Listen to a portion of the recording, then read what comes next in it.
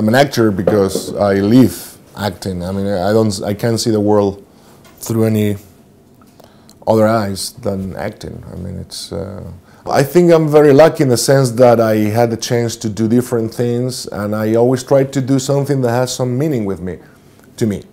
And sometimes it can be commercial, yes, because the meaning in that moment is, for me is to have fun and to do something that is going to help me to move forward professionally. And I know that when everybody thinks about actors, they they think about those faces and names that are the most famous actors.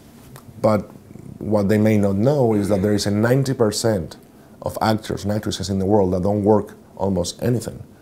And they really need that, moon, that, that copyright for their existence because they don't have money to pay the bills. And they do this very occasionally. They do it because they love it but they have to do some other things. Um, some of them they don't do anything else because they can't, because they're unemployed.